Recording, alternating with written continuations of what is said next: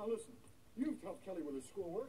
Tell me, is she capable of, uh, anything? Well, sure.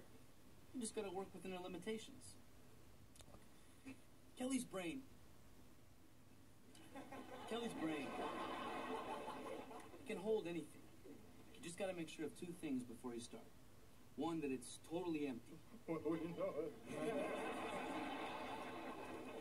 And two, you gotta feed her information slowly, a drop at a time until she's full. Full? Yeah. Kelly's brain can actually get full.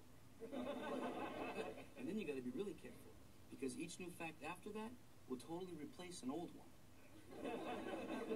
That's how come she forgot to put on a blouse the day she took her driver's test.